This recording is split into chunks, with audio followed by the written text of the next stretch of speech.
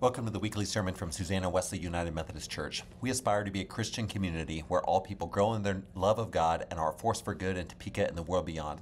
We connect with God and our neighbors through spiritual practices to worship, study, serve, give, and share.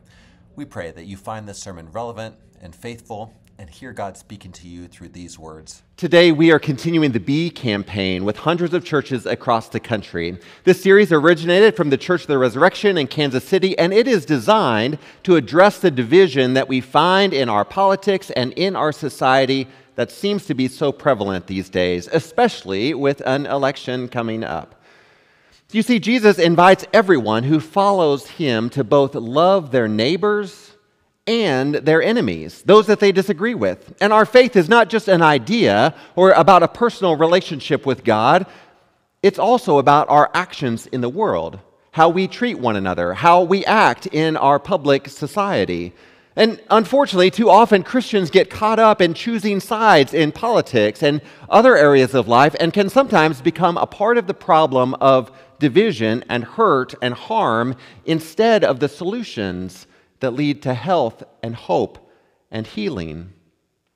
During this series, we're focusing on a scripture passage that you may be familiar with from Micah chapter 6, verse 8. I think we've got the words on the screen. I want you to read these words with me together. Will you say Micah 6, 8 with me? He has told you, O mortal, what is good. And what does the Lord require of you but to do justice and to love kindness and to walk humbly with your God? What does the Lord require of you? To do justice, to love kindness, and to walk humbly. God invites us to be just and kind and humble. Last week, we launched our series by remembering the context of this prophet Micah, who lived centuries ago, and yet how the times that he wrote in are not so dissimilar from the world that we live in today. There are people that are wealthy and have political power, and there are people that are poor and don't have power. And oftentimes, too often, those that are in power are oppressing those that don't have power. And we create systems to keep those in power in their place and those without power in their place. And we can find ourselves participating in these systems sometimes unconsciously and unfortunately sometimes by deciding so. These are the times of the prophet Micah the people of Israel had, were ruled by a foreign power, and they decided that they were going to stop paying tribute. And the foreign power didn't like this very much. So the Assyrian Empire sends their armies, and they eventually conquer completely the northern kingdom of Israel. And Micah is writing to the people and reminding them why this is happening because they've turned from God. They, they have forgotten about what it means to do justice, to love kindness, and to walk humbly. Instead, they focused on their religious observances and paying attention to doing things the right way instead of doing the right things that God might be calling them to. And so Micah reminds them what does God require of us? But to do justice, to love kindness, and to walk humbly with God. We looked at last week this idea of doing justice, and remember that this word means to make right judgments. How do we decide between what's right and what's wrong? It's about making sure that those that are in a particular situation that, that are, are uh, uh, obligated or should receive something, that they actually receive it. Too often, though, we find that people that might be able to receive support and care and help in times of need oftentimes don't find it. And so we talk about that as the opposite, as injustice. And so when we choose in our everyday life to take action for what is right, to speak up for those that may not be able to speak for themselves, to give our power away in places where it might be needed, this is doing justice, making choices between what's right and wrong, and making sure that we offer our voice to those that need a voice. Now, today we're going to turn our attention to the second phrase in Micah 6 8 to love kindness.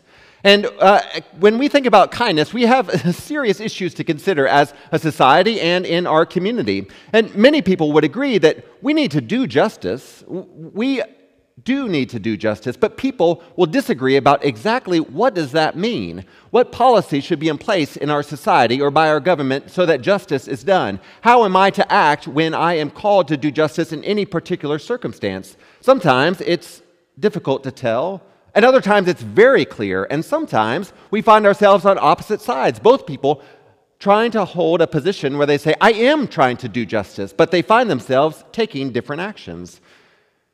We may disagree about what it means to do justice in any situation, and so it's perhaps even more important that we go about our life with a posture of kindness, to do justice and to love kindness.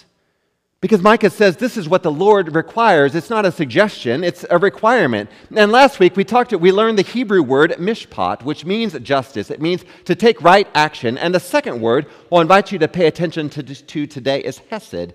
That's the Hebrew word that's translated here. It is a powerful word. It's used over 250 times in the Old Testament or the Hebrew Bible, and it can be translated in a variety of ways. So, depending on the translation of your Bible, you'll see different angles of this meaning. You can look at Micah 6 8 in a, uh, 6, 8 in a variety of translations and see different words used here. Hesed, in one way, is under, being understood as concern for another person concern for another person, and so it can often be translated as compassion, showing concern for someone else. Being compassionate, compassionate. It is a commitment not only to feel compassion, but to provide care or help, to do something tangible to make a difference in the life of someone else. And in this case, we have it translated as kindness, what we have in our text uh, today. Someone else needs something, and you're trying to help them out. This is Hesed. Of course, that also means that you provide aid to someone who has no right to expect it from you. Some cases, we offer aid to those who might expect it from us, and in other times, we offer it from, for someone that, that we might ha- not have a relationship with them. We might receive it from someone that does, has no connection with us, and in this case, it is, it is translated as mercy. Mercy or grace is this idea of unmerited favor when we're offering something for someone that has no right to expect it of us. And then, when it comes to relationships with people in our church, in our family, or in our community, you might understand this word as meaning a form of steadfast love or loyalty. We find all of these ways of understanding this word are in the scriptures. And what's most important in every single way of understanding this, we find that God offers these things to us first. God offers each of us mercy and compassion, kindness, steadfast love and loyalty. And then, only then, this is what God expects from us towards other people. Our community looks more like the kingdom of God when we set aside focusing only on ourselves and instead live in this kind of posture toward other people. So, today I want to take a closer look at these passages of Scripture that we read a few moments ago and see how each of them are a demonstration of this idea of being compassionate, of offering mercy and grace to other people. And we begin in the Old Testament with the story of Elijah and a widow. Now, you remember this story that Elijah has gone to Zarephath, the town, and as he comes, he sees someone, a widow there collecting sticks. And he calls out to her and says, Can I have a bit of water and something to eat? And she says, She gives him a cup of water and says, well, Yes, I'd be glad to give, her, give you food, but I only have a handful of flour left. I don't have much for myself. I'm collecting these sticks you see here so that I can go back and prepare the last meal that I am able to prepare for myself and my son. Do you see kindness at work here? A stranger has arrived into town, and someone that lives there, when asked, offers food and something to eat. And not only something to eat, but of the very last that she has for herself and her son. And Elijah goes with her, but he says this This is what the Israel's God, the Lord says the jar of flour won't decrease, and the bottle of oil won't run out until the day the Lord sends rain on the earth. The widow went and did what Elijah said, and then Elijah and the widow's household ate for many days. Perhaps because, or connected with, or maybe just at the same time as this act of kindness. The widow offers kindness for Elijah. Elijah offers this blessing, this miracle from God, and the people of Israel continue to celebrate it for this day.